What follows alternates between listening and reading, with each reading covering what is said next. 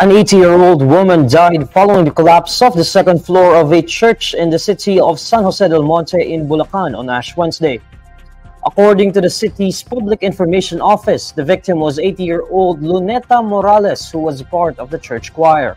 In a public briefing, Congresswoman Rida Robes said the incident at St. Peter the Apostle Church has resulted in one death, with 63 other individuals sustaining injuries.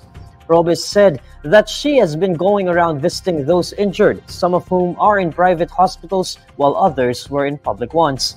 During Ash Wednesday Mass in the St. Peter Apostle Parish Church, the second floor of the building suddenly collapsed on the attendees. The city's Public Information Office earlier disclosed that the local government of San Jose del Monte would recover the hospitalization costs for all the wounded devotees who were taken to six hospitals in Bulacan.